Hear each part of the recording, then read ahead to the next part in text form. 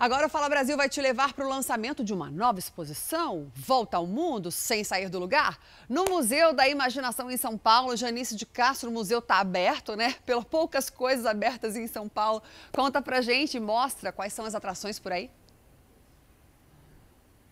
Carla, Thalita, primeiro eu quero fazer uma perguntinha para vocês. Eu tenho certeza, vocês já brincaram muito com essas pecinhas de montar na infância, não já?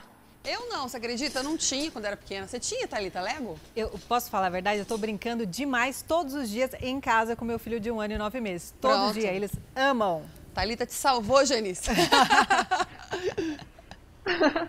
pois é, meninas, então imagina só uma exposição com 11 maquetes com mais de um milhão dessas peças a exposição Volta ao Mundo no Museu da Imaginação. E como está difícil, né, da gente viajar nessa pandemia, principalmente viajar para fora, a gente viaja por aqui mesmo. São os principais pontos turísticos e maquetes. Olha aqui, o suntuoso mausoléu Taj Mahal, localizado na Índia. Desse lado de cá temos a famosa Tower Bridge, né? A ponte com as torres, um dos principais cartões postais de Londres. E aqui do meu lado direito, gente, essa é a principal maquete, a maior maquete da exposição.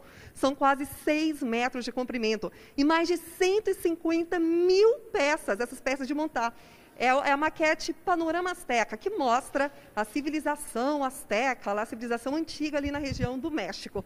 Vamos vir mais para cá, gente? Temos, o Anderson Rosa vai mostrar para gente Jardins da Babilônia. Essa maquete aqui, ela demorou seis meses para ser construída. Jardins da Babilônia, uma das sete maravilhas do mundo antigo. Ela foi feita por um artista holandês. De cá, temos os principais pontos turísticos do mundo com as principais cidades. Olha aqui, Tóquio, Xangai, Paris, Dubai, Las Vegas. E quando a gente clica aqui nesse botão, aqui está o mapa mundi, aparece onde fica a cidade. Olha aqui, eu vou mostrar. Tóquio.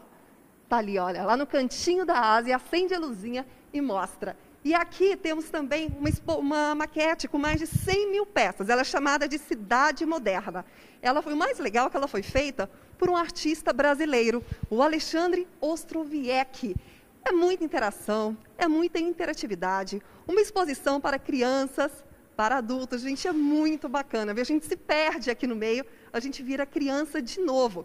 E olha, a exposição ela vai ser aberta ao público amanhã. Ou seja, Carla, Talita, o Fala Brasil está mostrando em primeira mão a exposição Volta ao Mundo. Aqui no Fala Brasil a gente dá muita coisa em primeira mão, né, Talita? Graças é a Deus e graças à nossa equipe maravilhosa. Adorei. A Tower Bridge de Londres, caminha até lá, Janice, para mostrar de novo. Vou contar um segredo para vocês.